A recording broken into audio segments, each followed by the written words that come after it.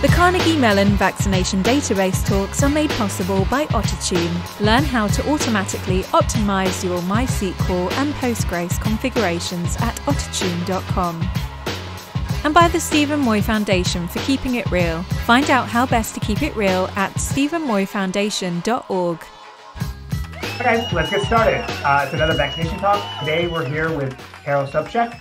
Uh, he is a co-founder and uh, software engineer at Starburst, one of the main companies that's backing the Trino project. Uh, prior to that, he worked at Teradata, and because he was part of the team at Hadapt, the company founded by Dan Abadi that got bought by Teradata, um, and then he started working on, on, Presto, which later became Trino um, at Teradata. So, uh, if you have any questions for Karol as he gives his talk, please unmute yourself, say who you are, and, and ask your question. And feel free to do this anytime so he's not talking by himself. And we have to say that Karol is in Poland right now, so it's 10:30 at night. So we appreciate him being being here with us, and we also appreciate him going through, uh, getting through this while sick. And I would say he is vaccinated. Yeah. Uh, okay. So, so my name is Karol Sobczak. Uh, yes, I, I, was one of the initial employees of uh, Starburst. Uh, and I will um, talk about Starburst Trino query optimizer and the engine, how it evolved over time, what are the reasons Trino exists, and so on. So, so first I will go over the company overview, then I will go over the Trino overview, then I will go over the evolution of the optimizer and the uh, milestones of how optimizer was evolving uh, in the last years. Um, I will also talk about other key features that we have, like dynamic filtering, advanced pushdown, and uh, importantly, I would also I would I will also talk about uh, the current initiatives that we have uh, for the future and for, for the current developments.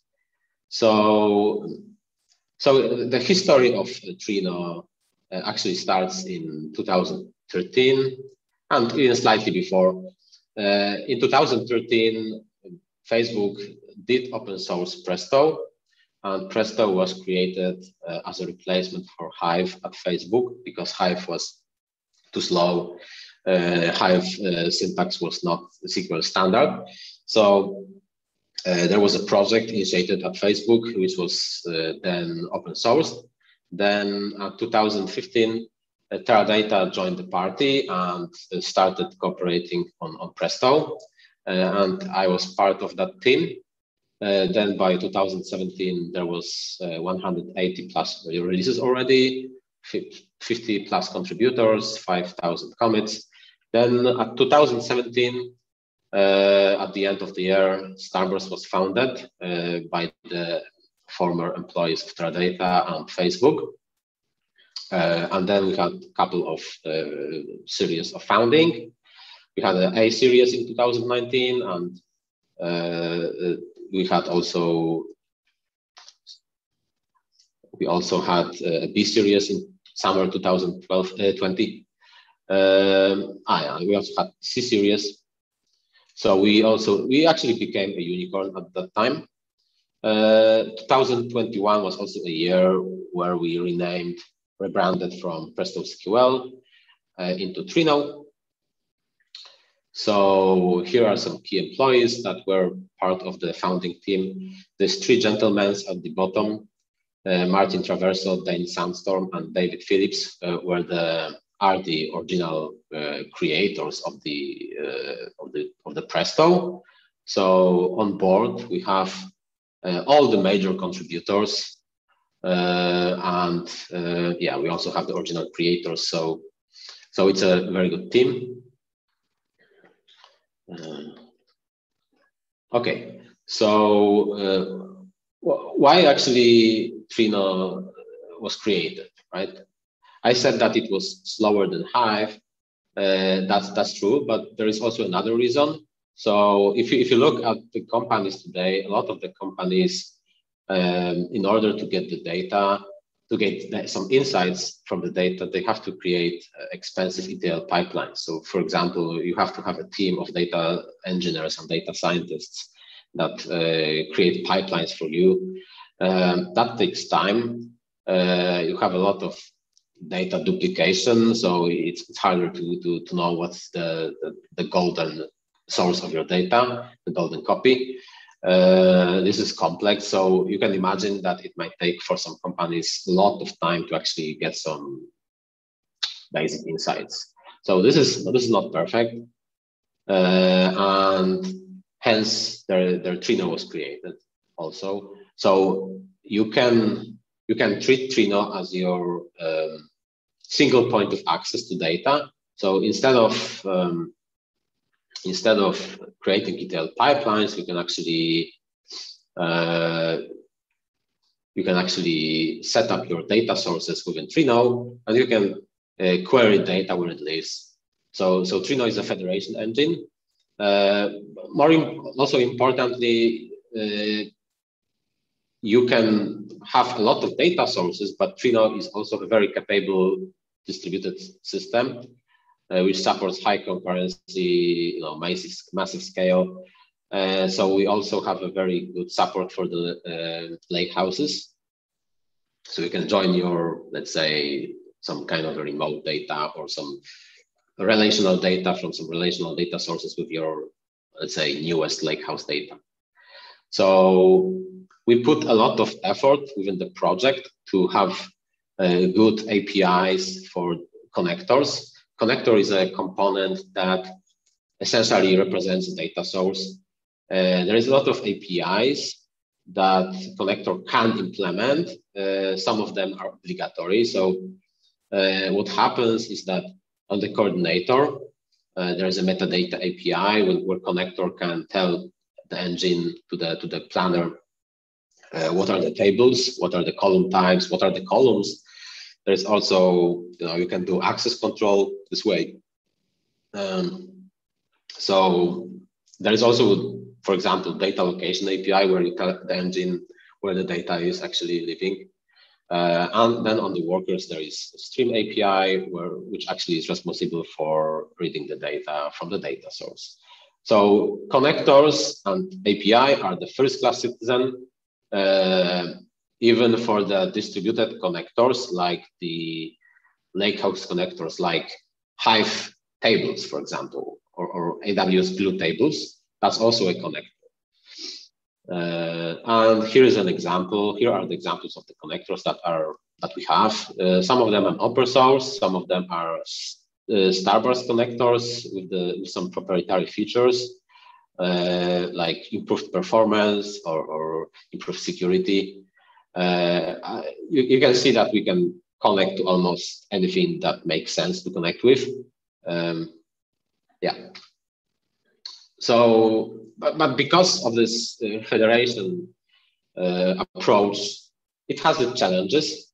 So within a single engine, we have to deal with relational versus non-relational data sources. So with this comes the complexity of managing different data types, like you can imagine that all of the sources, they have kind of same data types, but kind of different.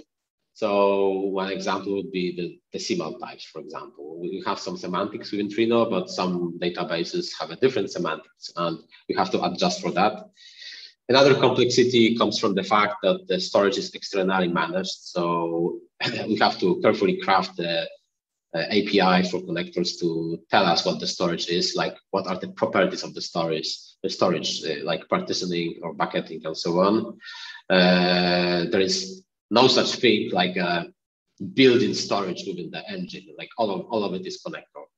Uh, and another difficulty comes from the from the statistics. So uh, as you uh, probably know, statistics are very important for optimal performance of the engine. And some connectors provide better statistics, some provide some provide worse statistics, and we have to deal with, with, with them. Even we have to be able to make some decisions, even if the statistics are not that great.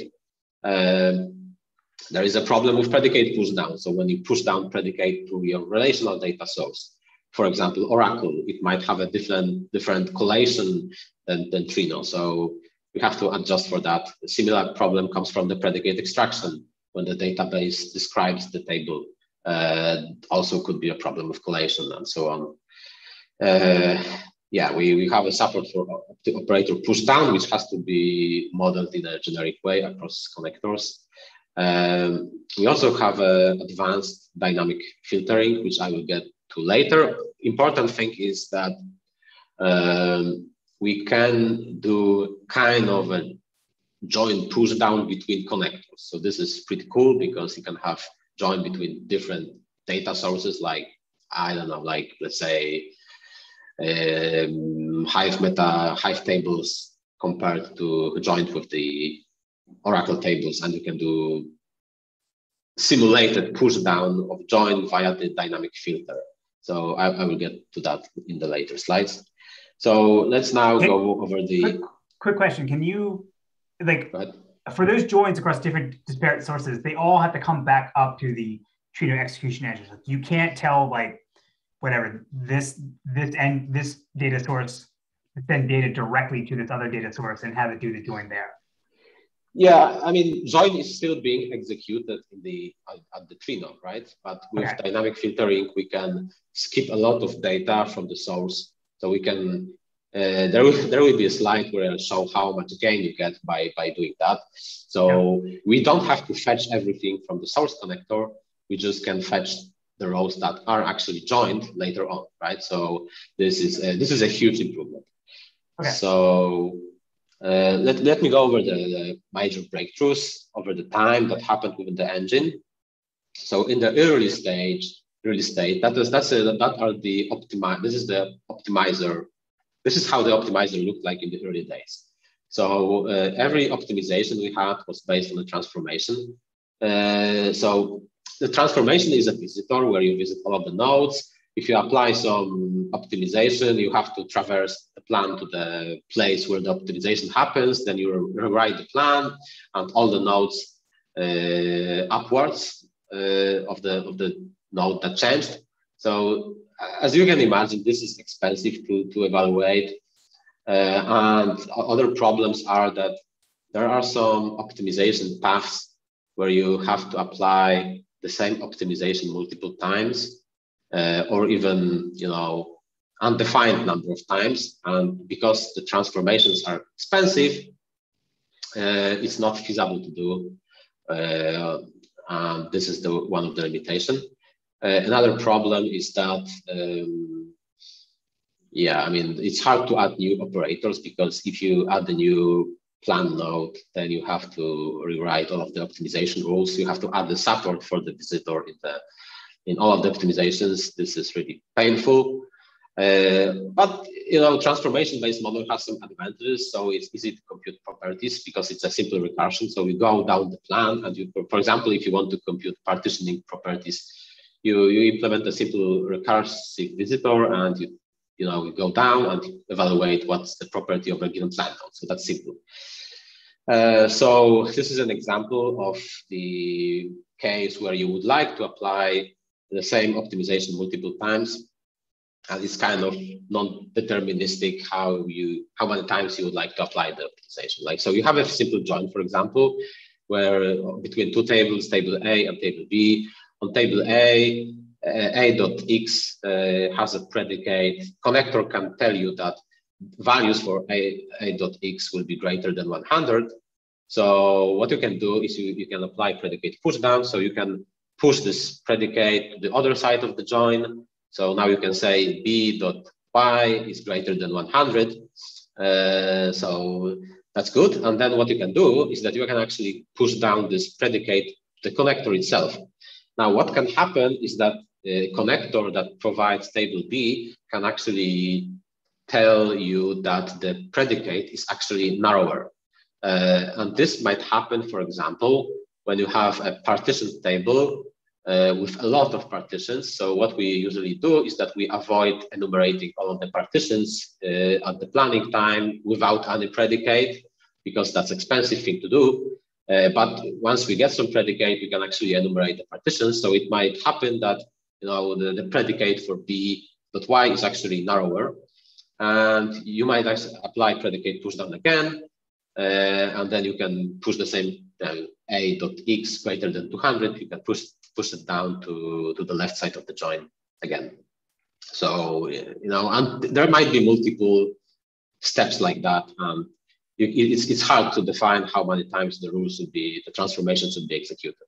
So, uh, okay, so another uh, neat thing that was early in 2016 was the equality inference.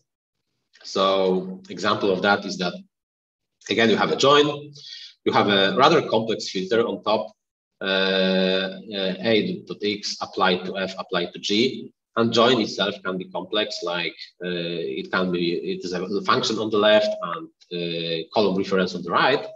So with a predicate push down, you can actually push down the filter, the original filter to the left side of the join. However, you can also push down modified filter to the right side of the join because you can derive uh, more equalities. Uh, and you can say that, that b dot y applied to g is actually uh, the same as uh, a dot x applied to f applied to g. So uh, we generate this cloud of, of, of equalities and try to derive, um, uh, let's say, transitive uh, predicates this way. So what happened uh, also in that year, that was mainly driven by Teradata, uh, we were adding support for different types. So we added support for character type, float, decimal, for parametric types, uh, and very importantly, we added support for correlated subqueries. Uh, the goal was to have a support for full TPCDS, TPCH uh, query suite. So now you, I mean, we wanted to be able to run them without any modifications, and that was achieved. Uh, so we, we, really we had support for all the queries early, uh, compared to competition. Um, uh, yeah, and and we still progress, right? So that we added some support for correlated subqueries. At that time, we continue adding support for different, more trickier, say, correlated subqueries. There were other kind of uh, neat things added in the recent years. So this is still moving forward.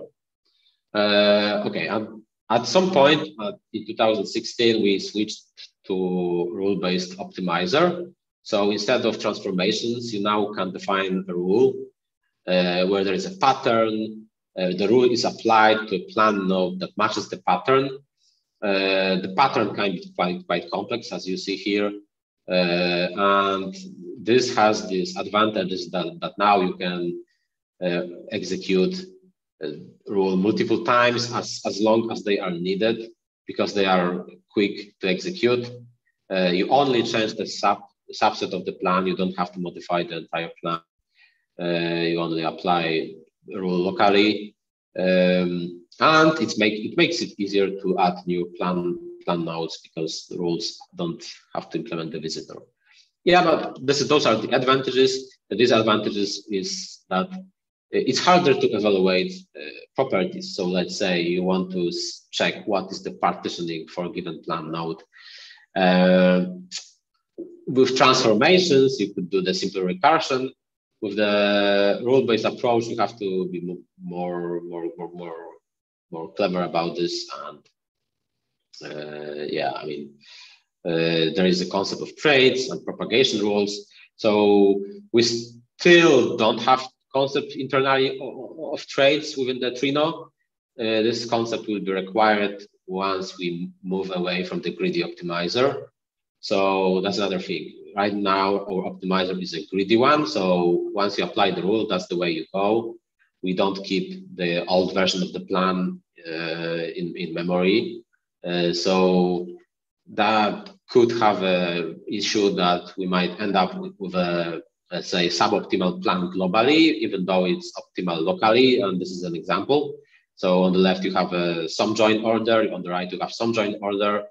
Uh, okay, globally, locally the left join might be better join order, but if there is some kind of a group by or aggregation on top, it might be better actually to do the right version of the plan because uh, there is a different partitioning at the end of the join, on the, on the top join, right? So there is a partitioning of data by a dot x. So if you have an aggregation of, of a on a on a dot x, you don't have to reshuffle data again. So so this is why why we will probably move to the non-greedy optimizer in the, in the future. Um, okay, so into, then in 2017, uh, there was um, cost-based optimizer added. Also, that was uh, our uh, little Teradata office initiative.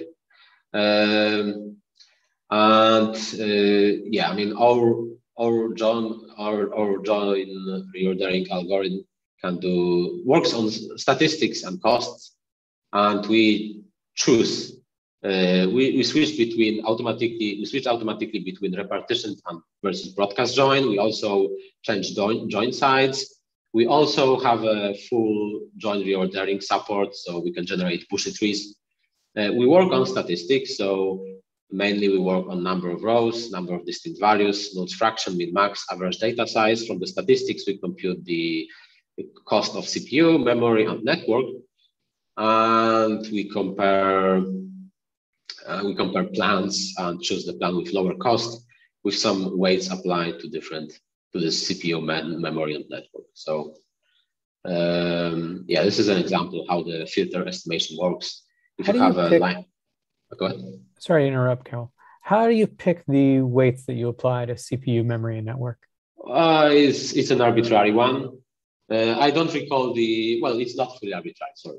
Uh, I don't recall the exact values, but um, we put emphasis on the uh, CPU, if I recall correctly. I would have to check, but mainly Presto uh, query performance is mainly limited by CPUs for, for, for Trino, sorry.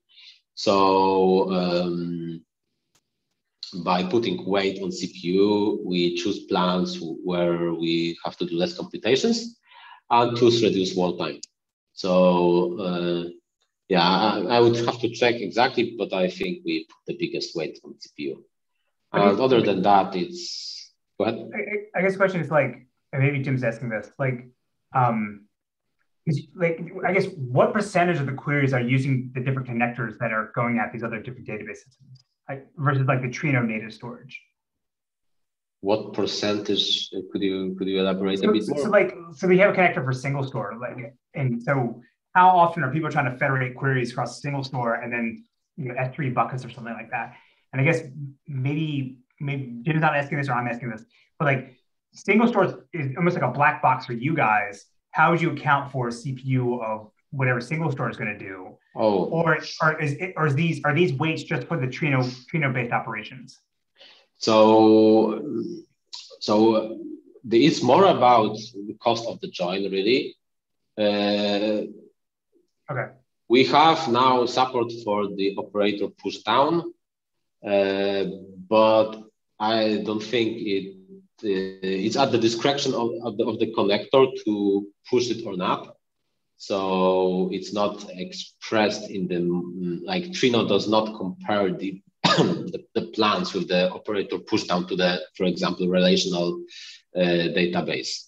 We assume that by pushing things like aggregation down to relational data source, we will reduce the cost, overall cost of the plan uh, because you reduce the amount of data that is being transferred over the network. So what happens in practice is that while uh, once we start extracting data from relational data database, for example, Oracle or other or Teradata, for example, in a distributed way, those databases tend to put high cost. They, they, they getting the data from them is actually quite expensive. So if you can reduce the amount of data that is being produced by the by, by the connector, it's good. By relational connector, it's good. For the data lakehouse connectors like Hive metadata, Hive tables, uh, it's, it's more about join order. Um, so there you, you, you, scan, you, you scan the same tables, this cost does not change. The cost change once you start reordering the joins, right? So it's more about that uh, then. Okay, so, so to repeat what you're saying, if it's connector, you don't account for CPU cost. It's just like how much it's the data transfer coming out of it. Yeah, that's that's that's uh, yeah, that's that's like uh, that's an empirical experience. I would say okay. yes.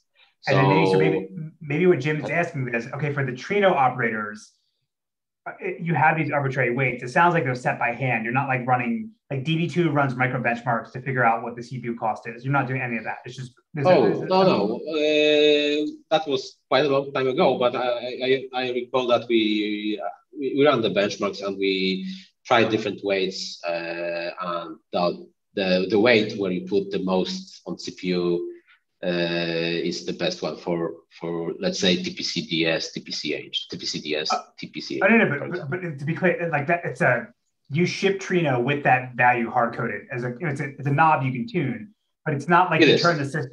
Right. So it's like in DB2, you turn the system on. Actually, IBM people here, they can correct me. Uh, you turn DB2 on and it runs micro benchmarks on your CPU, almost like BogoMIPS to figure out what the weight should okay. be for the cost model. So, uh, so there is an idea. It's, it's not uh, it's not in progress yet, but there is an idea. Actually, I, will talk about this in the future uh, future uh, initiatives. So you can actually improve statistics, for example, by computing the collecting the data from the queries uh, and comparing the statistics of, for the plan against the actual statistics of the query, right? So now you can actually have a better model where you uh, can apply some techniques like I, would guess uh, linear regression or things like that, where you can uh, adjust this weight so that they match reality for the particular customer.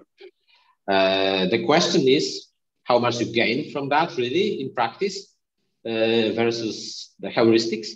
The, or, uh, but but yeah, that's that's the idea, and that's actually quite interesting project to work on. Uh, mm. It would be so so yeah. Like what we uh, it, it, it we cannot easily like statistics are are not you, to get the actual stats you have to run the query right so statistics are just an approximation of the reality uh, so hence hence you will need these weights However, you can apply these weights. You can change these weights according to the workloads of the customer, for example. Uh, but for this, you need to have the, the, history of the queries. You need to have this, this algorithm. So, so this is this is really something we've been thinking on of.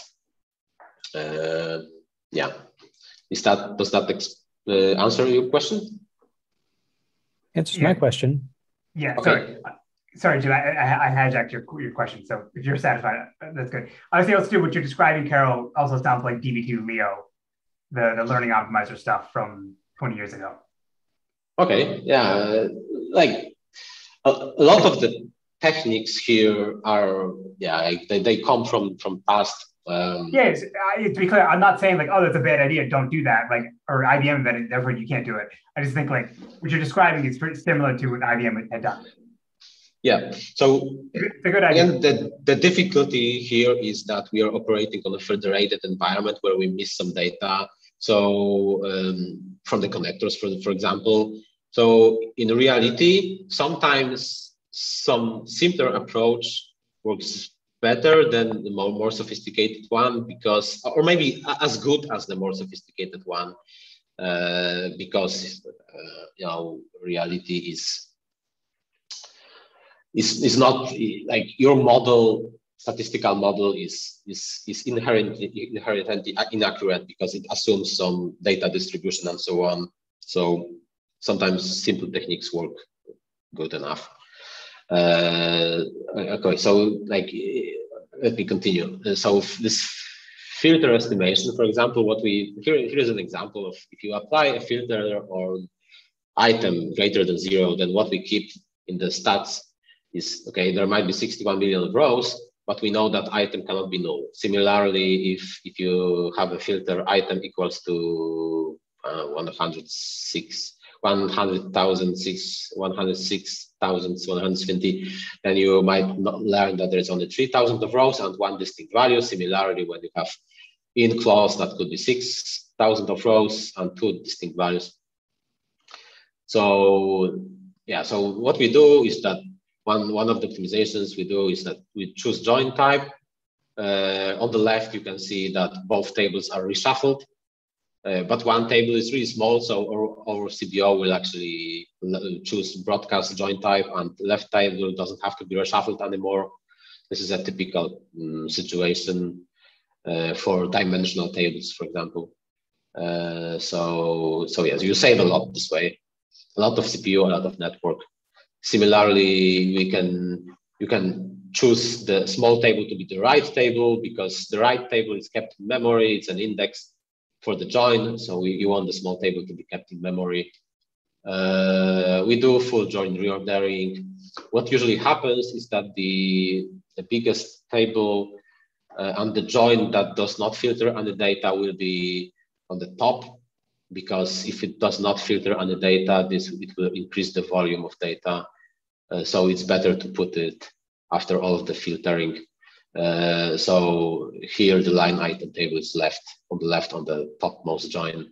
So it's not in memory, not being not being kept in memory. If you apply a filter to line item table, then uh, it, it, might only produce 3000 of rows. So then it becomes right bottom most uh, table uh, and then customer table landed on the top here. Yeah, so this is how it will work. We also support the full Bushy trees. So usually, I mean, usually some some some engines, I think they they only do deep left deep or right deep join orders. Uh, we do support Bushy trees if that's better in terms of cost. Uh, and CBO was a great breakthrough. Uh, we decreased, increased performance by uh, uh, orders of magnitude. Uh, yeah, that was the first great improvement. Um, yeah, but like I, like I mentioned before, accuracy, accuracy, accuracy decreases with plan depth. If you have more complex plan, then the more operators you have to for the, the more operators you have to compute stats for, uh, the error increases. Uh, and that, that's one, one problem. Another is that some connectors don't provide accurate uh, number of distinctive values, which is essential for computing filtering ratios. Um, sometimes we only know table sizes. So what we can do is that we apply different techniques to deal with that. We normalize statistics if, for example, stats say that there is more number of more distinct values than number of rows, we cap number of distinct values. Um, we assume predicates are correlated. Uh, we assume distinct values match. Uh, correlated predicates mostly for join.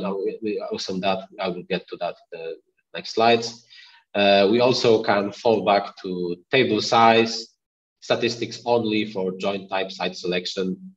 So um, yeah, so we assume distinct values match. When you write a query where you join by two columns like a dot uh, equals to b dot y, we assume that the table with smaller with smaller number of distinct values that from that table all of that distinct values will have a corresponding match on the other side of the join uh, and this is based on the, the, the fact that when user does join table, he really means to get some data.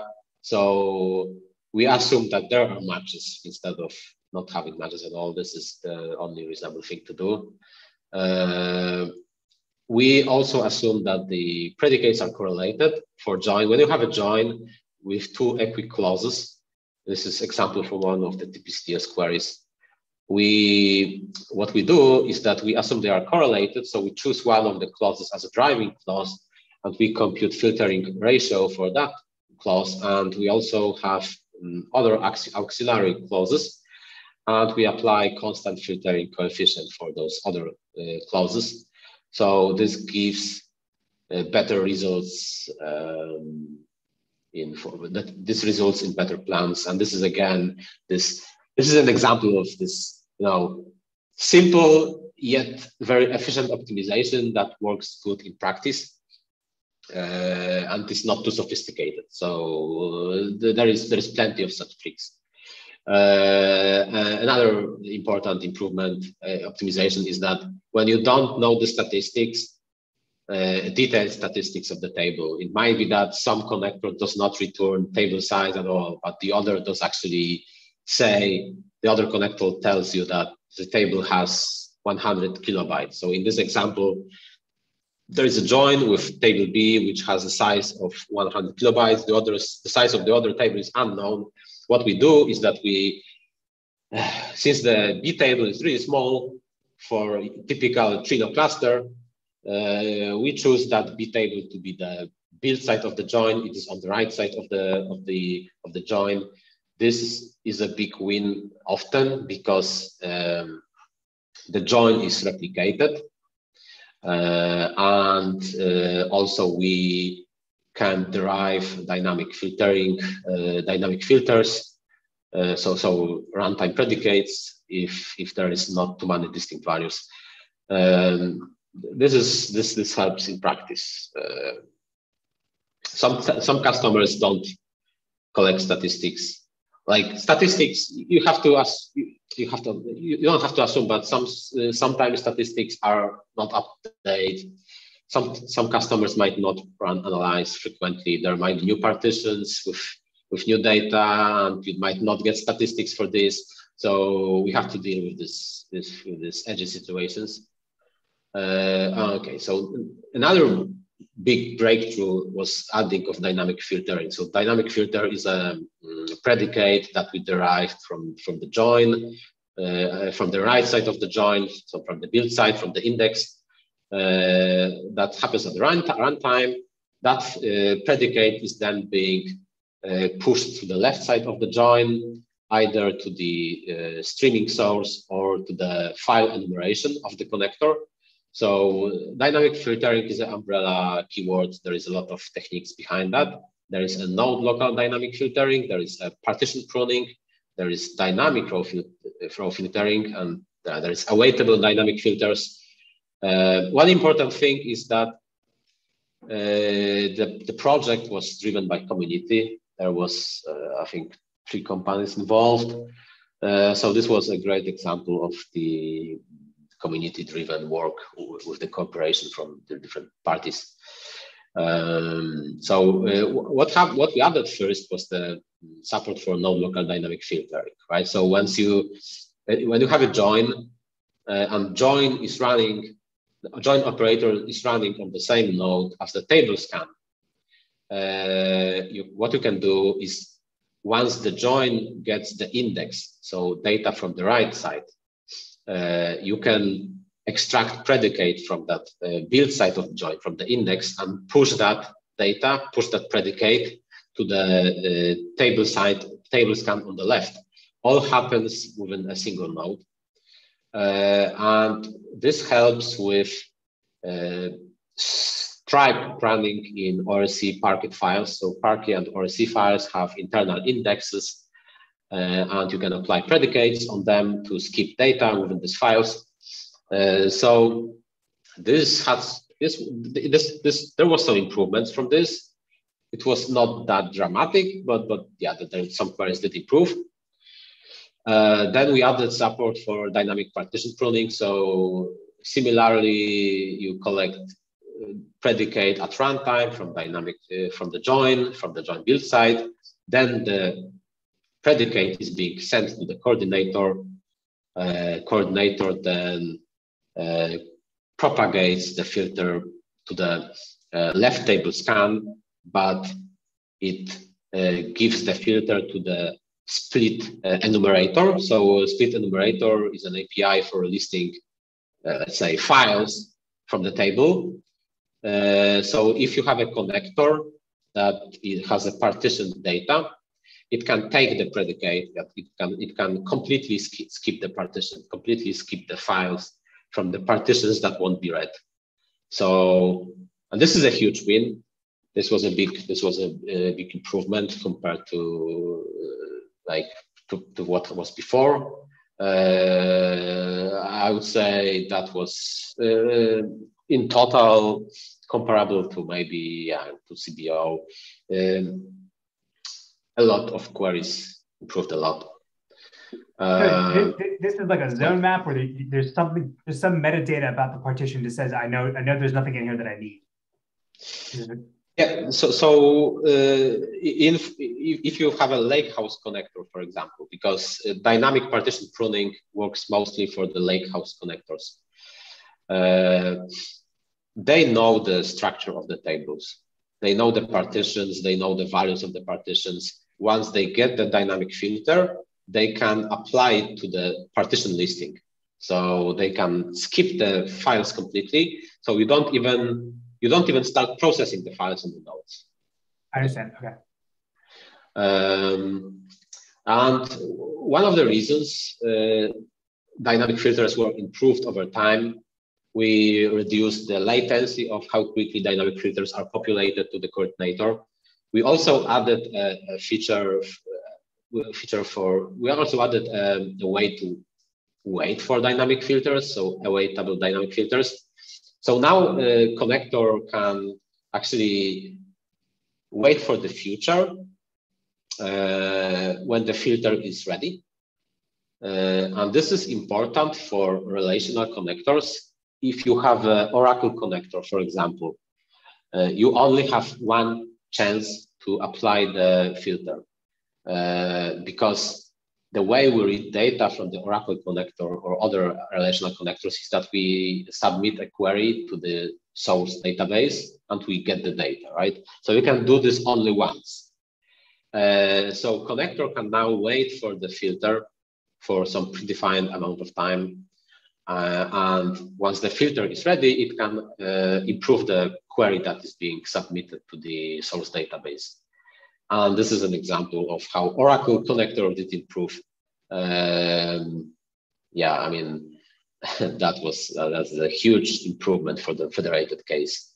Uh, it's like a night and day for some queries. Like some customers, uh, it actually it was uh, some customers have like um, we have a support for dis distributed uh, connectors, distributed, distributed relational data sources.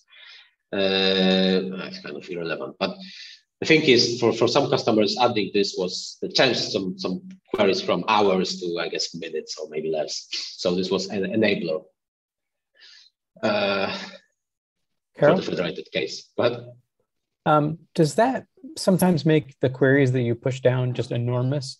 Like with in clauses that are hundreds of thousands of uh, elements wide? No, no, no.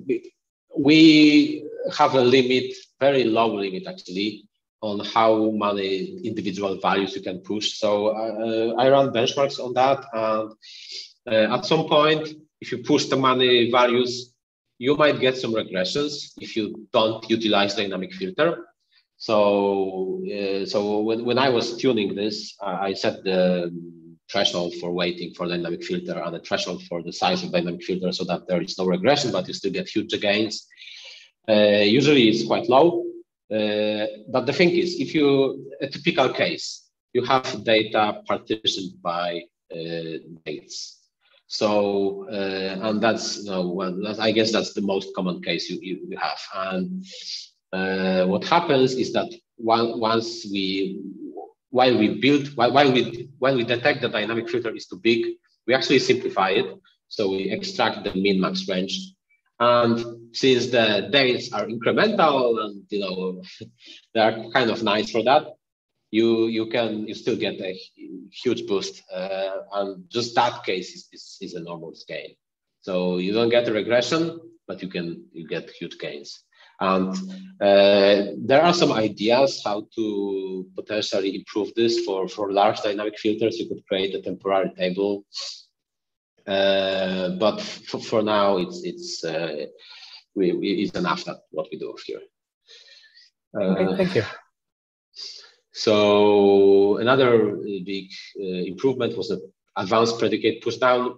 Before 2019, we had support for predicate pushdown and column pruning.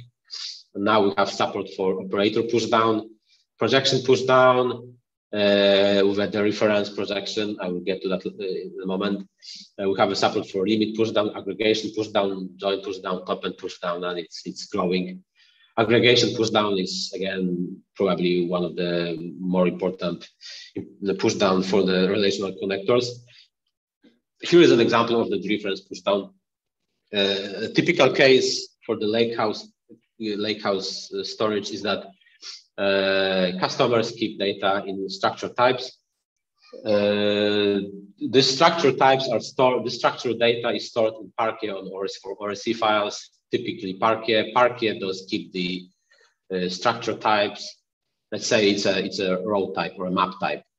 Uh, there are actually uh, vectorized data within Parquet for, let's say, key and values or for each uh, row column. So within the Parquet files, there's only vectorized data. Uh, so what we do now, if you write a select call uh, dot field zero from table, we will push down that projection into the connector.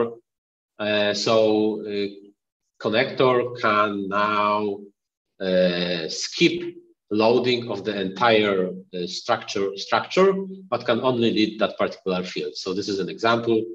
We have a projection that will decode only field zero from the structure structure type. There is a table scan uh, that reads the entire structure um, structured uh, column, but after projection pushdown, there is just table scan which produces field zero. So we don't read uh, all of the structure um, blocks, let's say. And this is an example of API uh, of the projection pushdown. What is important is that uh, we carefully design the API so that we don't really expose too many details about the optimizer to the connectors. So we have an abstraction called the connector expression. Uh, right now is either a constant field reference or a variable, which is variable is essentially a column reference. But the, the, the way it's done, it makes us easier to change how the optimizer works, uh, how we model the model the plan internally. So it's, it's a good thing to do.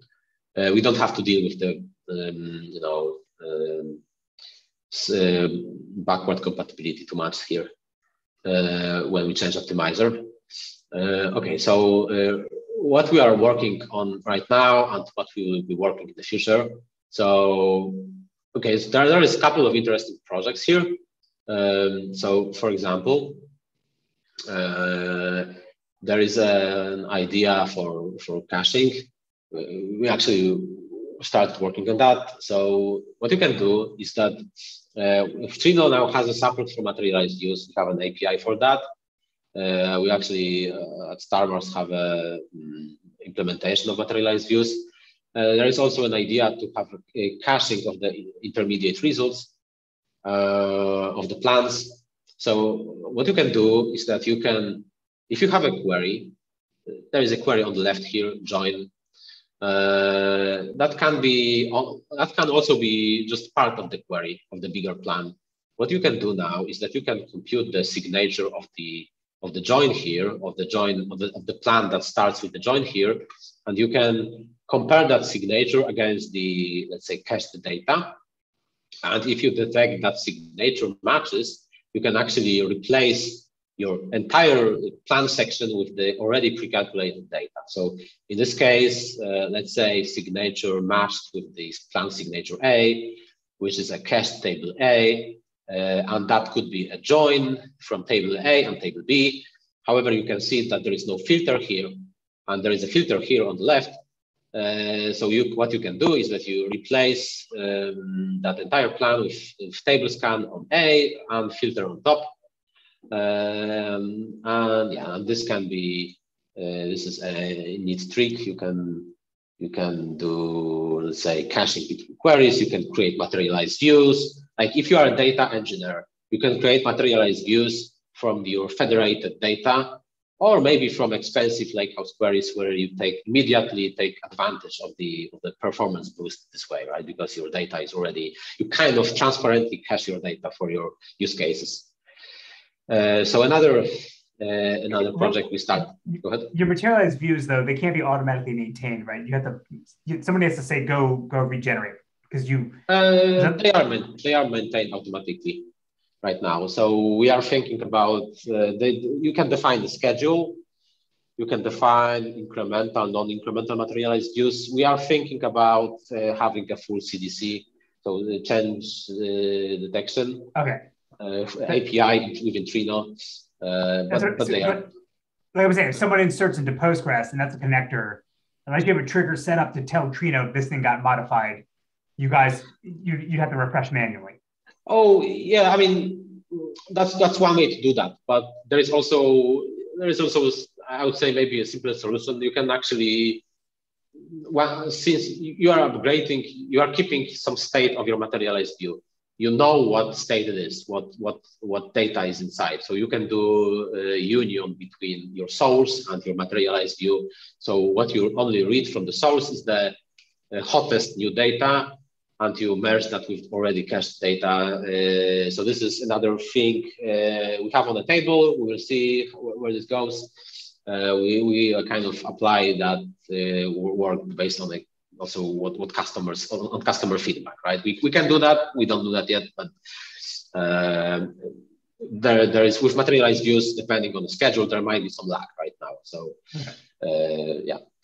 Another project we started is the uh, we, we started the project to improve fault tolerance for Trino for longer um, workloads, longer queries. Uh, and, and, as part of the project, there is a, and fault tolerance will be implemented uh, as a, you know, you add temp temporary storage. You don't stream the data directly between operators, between stages. You have a temporary storage now where you keep the data for the case if something fails.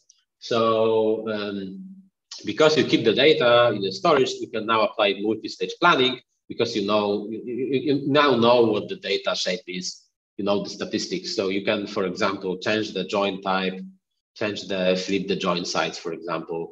Uh, so you can do this uh, planning in a in a you know, uh, incrementally. This is also a neat technique. Uh, yeah, and there we have plans for improved statistics. So there might be cases where there is uh, some there are some outlier values which are very frequent. So you might want to treat them differently. Um, you might want to detect correlation between columns. Another example is that uh, if you have partition data in connectors in Lakehouse, like if typically think uh, think like Glue or Hive Metastore keep statistics per partition. So it's hard to compute the number of distinct values per the for the entire table. Uh, so you might want to apply some uh, extra techniques to be able to compute number of distinct values for the entire table, even though you have just a sample of partitions.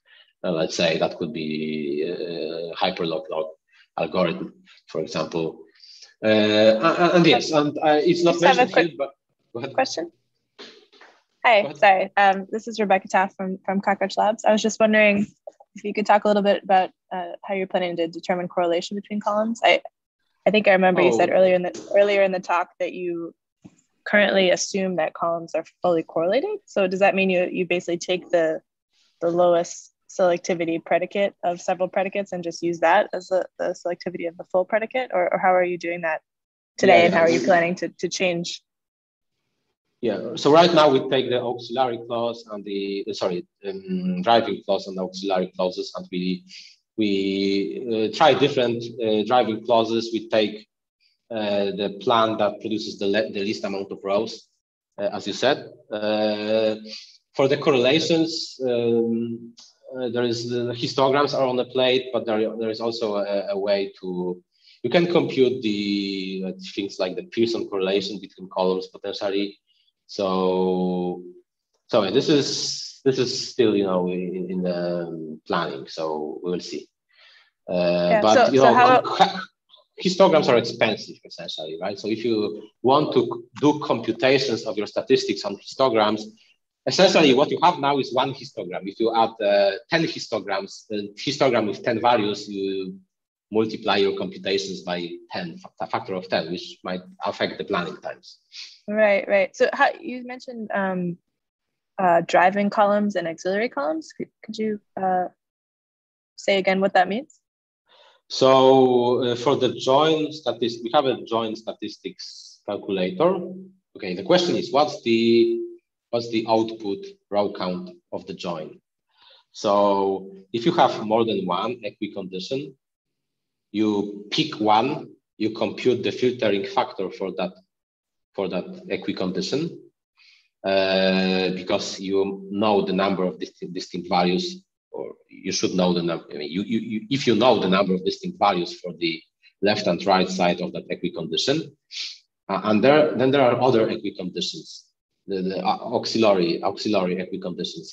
So for this, we don't compute filtering factor anymore based on number of distinct values, but we apply the constant uh, coefficient, which is, I believe, uh, 0.9 today, um, with the you know, assumption that if user writes a join where you where it has multiple equi clauses, it's it's usually usually the equi clauses are correlated, right?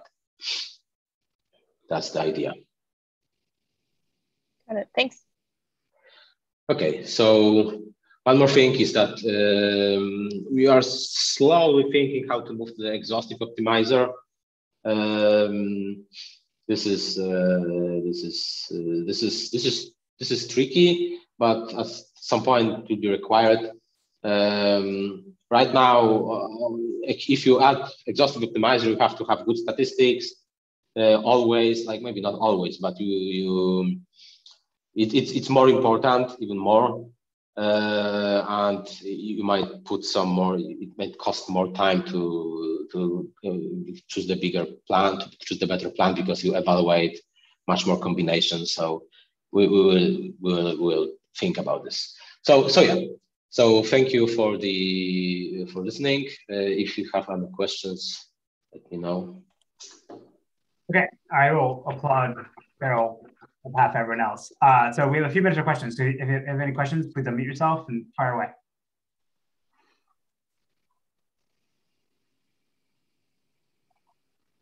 All right, screw you guys. I have questions. Awesome. Um, so one thing I think, is interesting. Wait, sorry. Yes, go for it. Yeah, so this is Hamid. Uh, I had a question regarding the, do you use any kind of semi-join? So you went to the left side and you collected something and you push the predicate on the right side, uh, but uh, uh, that can be actually yeah. Bloom filters as well, you know?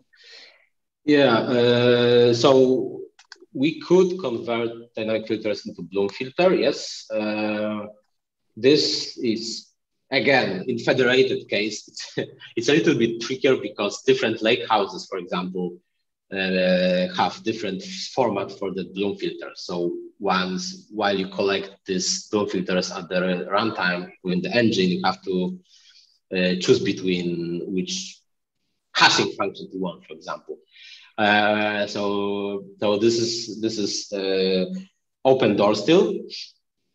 Uh, regarding semi joins, uh, we actually switched to, uh, we have a semi-join implementation, yes, but we switched to, uh, we actually convert semi-join to join now, to, to inner join now, where it's a filtering semi-join. So sometimes you have to have a semi-join because you want to know the result, whether it's true or false that the row is in a, in right, in a, in set. However, uh, if you don't know, don't need to have a result, we actually convert that to inner join and this has advantages that we can now such a semi-join node that doesn't really have to be a semi-join can participate in join reordering. The other thing is that we can derive dynamic filters. We actually derive dynamic filters for, for semi-join too, but mainly for the for the reason of CBO and join reordering, we try to avoid semi-joins. Yeah, yeah. I got it. I mean, the advantage of Bloom filter is that the amount of data they pass is very, very small. And in fact, you can make that one to be symmetric. It's called zigzag join. That is, you go from the left, form the Bloom filter, go to the right, apply it, form another Bloom filter, bring it back to the left, and then finish it. Now, most of the rows that you're like retrieving will be in the output because you did it symmetric on both sides. So left teaches the right and right teaches the left. And yeah, that's a very uh, small amount of data. Yeah, uh, yeah, that's that's true. So this is like I like I said, dynamic filter is a never-ending story. Dynamic filtering, like you you still have a lot yeah. of you can you you you complete something there is two more two more doors open and you can improve here and there like so so it, it, it's not finished yet i would say yeah okay thank you anybody else so i guess Karol I, maybe i missed this like the joint learning for that that's that's pretty much the only place where you're doing the cost-based optimization. Like are you doing a sounds like you're doing like a bottom-up approach instead of a top-down approach. Is that correct? Uh, we actually do the uh, yeah it's a it's a it's a bottom-up approach i think yes. Actually i have to think uh, like the system actually the, the, the, the, recursion is from the top actually right? So what we what happens is that we now we, we have a list of source tables and the algorithm works like that that it uh, splits the, the, the, the, set in two and then applies join reordering to the subsets. So it's actually i think it's a it's a top-down approach. Yeah it's a top-down approach yes but with memory memoization. Yeah, that, that, that's so okay. Okay, I got one I mean, more question for you if you don't mind. Yeah. So have have you done any comparison with Dremio or you know the modern Redshift? Well, well I don't know about Redshift, uh, but we did comparison with Dremio. Yes. But you I mean, mean comparison uh, Hamid, that, that's a loaded question. Like, is it faster? Like, like, what, what do you want them to say? Like, like. Yeah, uh, I think we are faster. Like, uh, we we pushed for the performance uh, recently in the recent quarters, and we had some good gains. So right now, I think uh, I think we are faster. Uh, yeah. Also, Dremio has the problem that if I recall correctly, uh, correct me if I'm wrong, I don't think it runs all of the queries from the TPCH, TPCDS data set. So we cannot fully compare those two products still. So the, the, the Dremio talk is November 22nd, Hamid. So you can come and complain to them. Yes, I know. I know. Okay. Yeah. All right. Um, so I, I guess I have one, two quick questions. One is, I mean, you guys are kind of uniquely positioned to have that you have data about the accuracy of the statistics of all these different data sources that you're getting connect you have connectors for. Like I understand some are like I'm reading from S3 buckets and you know the data files are static, but I'm thinking like you're connecting to MySQL, Oracle, Postgres, right? All SingleStore, all these different database systems out there that, that maintain their own statistics, and you're basically trying to extract them out and use yeah. them in your own query optimizer, right? Yeah. Mm-hmm. So I guess the fir- first question is: Do you control when you call analyze on those other systems? Uh, no. Okay. We don't have a. Then, we don't do that. I understand. And then, so that means that also across all the different queries that are running on the you know the Starburst cloud platform, not the if someone's on prem, you don't have access to this, but on the cloud platform, people are probably connecting to everything. So you could then potentially keep track of over time which these different database systems are actually have you know are, are usually wrong about their statistics? Yeah i mean i think in the direction it will evolve into is that uh, you would have uh, you would provide you would um, set up your data sources but uh, transparently behind the scenes what will happen is that we will actually you know you, you as a user you would be able to tell okay i want to cache this data or maybe we cache it for you automatically so uh, even though like because the problem with the relational data sources is that they are often slow and sometimes uh, people don't want to have the load on the source database like Teradata, right? Because they have other production workloads there. So if they want to offload from, from such databases, they usually want to move to Trino, but in such a way that they can reuse the existing queries. So they, they, they want transparency. Uh, and here comes the technique of materialized view or, or the caching of the results or um, what else? Um, okay, so, so so people are using this so the, the federated aspect of Trino to uh, get additional usage out of their existing databases as a as a on uh, on the path toward, towards migrating off of them. Yeah, it is one, one typical example is that some typical example is that people want to move from the companies want to move from, from the let's say some of the classical databases like you know Postgres, sure. Teradata, right? Postgres not necessarily, but like this big analytical uh, boxes like the fridges. Yeah. Uh, and they um, but they have production workloads there. So they they start doing that by plugging Trino first, and then they move workload to Trino uh, but as they move workload to Trino more and more, they put more pressure on this on the on the source, and they they they but they you know so we we want enable we want to enable them to you know to to move even more workload to Trino, right? So I think they start simple by just connecting your source, and then they you know apply different more, more techniques. Right? And this is mostly, I guess, for on-prem customers. In the cloud, what will happen is that we'll manage the, this automatically for the yeah. customer. I am just making a comment that I think you guys have a very interesting data set.